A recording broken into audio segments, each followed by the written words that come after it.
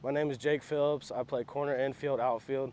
I go to Kings Ridge Christian School. I play for 643 baseball, and I'm in the graduating class of 2018.